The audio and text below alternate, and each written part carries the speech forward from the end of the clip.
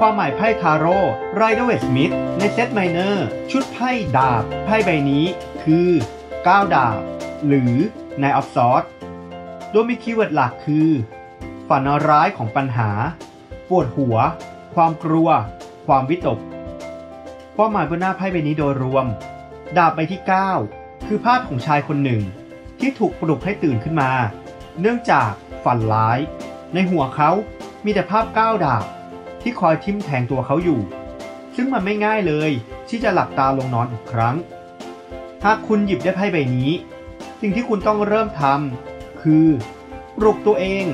และเริ่มฝังความคิดตัวเอง เอาไว้ในฝันร้าย ความหมายด้านความรัก เครียด อึดอัด กังวลกับเรื่องของความรัก หาทางออกไม่ได้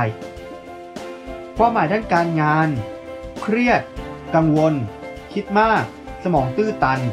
ภาระที่มากเกินพอดี ความหมายด้านการเงิน มีปัญหาด้านการเงินอยู่ในขั้นย่ำแย่ ความหมายด้านสุขภาพ จมอยู่กับความเครียด ปวดหัว ปวดตา ไมเกรน